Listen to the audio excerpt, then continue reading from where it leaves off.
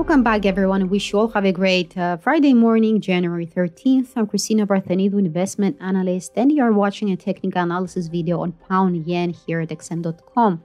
So, looking at the daily chart, we can see that pound yen came under severe pressure on uh, Thursday, losing almost 2% from Wednesday's close price. Uh, well, the sell-off continues today with the price having already erased uh, uh, all the gains from the previous week to retest the January support region of 156.72.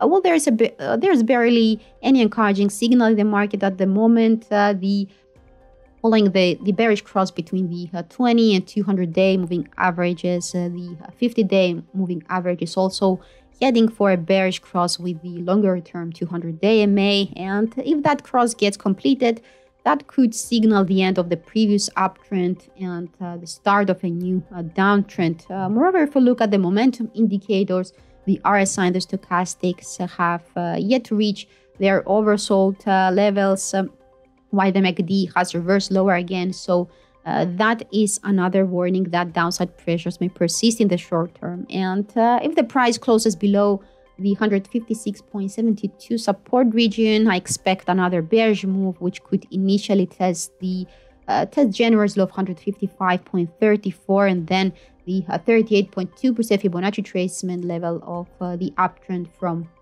the 2020 low of 124 to the 2022 peak of 172.10. Uh, that Fibonacci level is seen around 153.73. Uh, now, if we if the sell-off continues below that, um, we might we may see some consolidation around the 152.53 low from the end of September, and then probably uh, more downside pressures could bring the 151 and 150 psychological levels back uh, into view. Uh, now looking for resistance levels, uh, well, the area around 158 has been well has been constraining upside movements uh, today.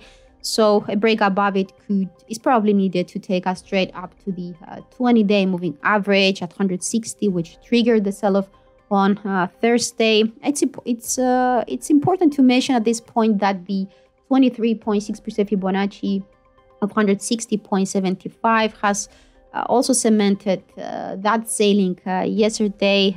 therefore, a break above that bar is needed in order to see um, a sharp rally up to the 250 day moving average averages currently uh, seen within the 163.55 164.50 region.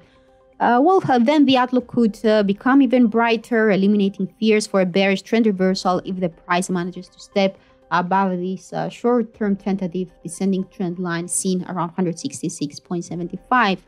Uh, finally, summing up, uh, well, my personal opinion is that uh, this decline over here uh, hasn't finished yet. Uh, I'm currently waiting for the pair to close below 156.72 before I target lower levels.